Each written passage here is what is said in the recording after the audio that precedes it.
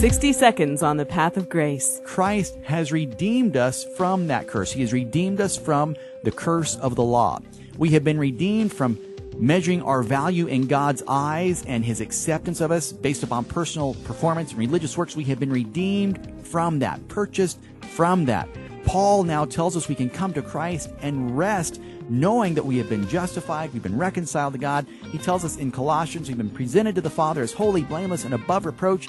And it's not based upon anything we've done, but based upon what Christ, the only begotten Son of God, has done for us. That is why we call Christ the Savior. That is why we worship Him, honor Him, revere Him, and serve Him. That's why we place Him on the pedestal and kick ourselves off because He is the Savior. We are not, and we can find rest in Him. We have reason to praise God because of what we have in Christ. To hear more, visit jamesflanders.com.